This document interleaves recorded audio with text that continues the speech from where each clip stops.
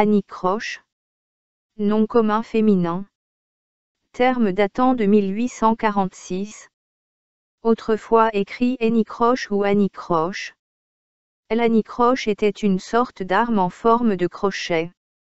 Ce mot est formé de âne, d'origine obscure, peut-être à rapprocher de hameçon, et de croche, crochet qui servait à accrocher les chaudrons. Terme familier qui désigne une légère difficulté, léger obstacle. Terme familier désignant également de grandes difficultés qu'on fait naître à dessein. Dans le domaine de l'armement, terme désignant une arme en forme de crochet.